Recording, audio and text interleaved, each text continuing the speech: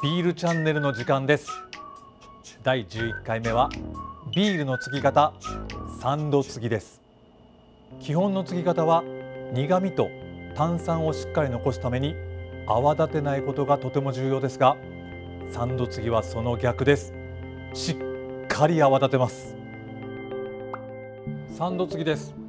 3度継ぎはしっかり泡立てるのでグラスを受け皿に置いてしまいます。そしてタップを全開にしてビールをグラスの中でしっかりと泡立てていきます。そして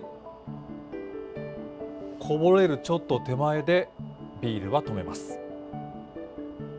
すると泡が徐々に徐々にビールに変わっていきます。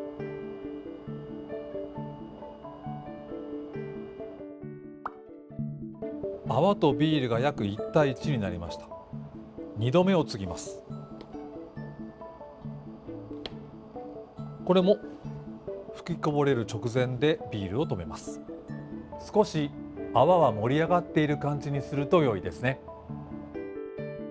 皆さんここで質問です。この泡は何で作られているかご存知ですか？泡の材料です。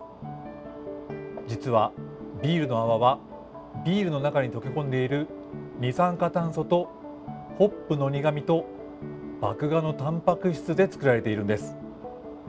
つまり泡立てるということはビールの中の炭酸苦味タンパク質を使ってしまいます。その結果ビールの炭酸と苦味が減っていきます。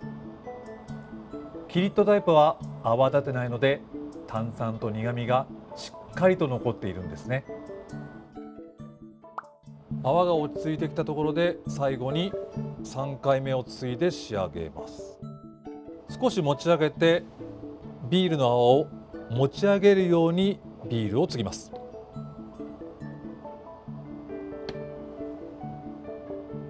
3度継ぎの完成です。盛り上がった泡は苦味の塊なので泡だけすすると苦いです。しかし泡の下にあるビールは炭酸と苦味が弱まり麦芽の旨味や甘みを感じることができます。ビールチャンネルではビールサーバーの取り扱いの基本をお伝えをしています。もっと知りたい方用に裏ビールチャンネルの配信を予定しています。そちらもどうぞお楽しみに。手入れの行き届いたビールは笑顔を生み出します。今日は誰とどこで乾杯をしますか？ビールスタンド重富マスター重富がお届けしました。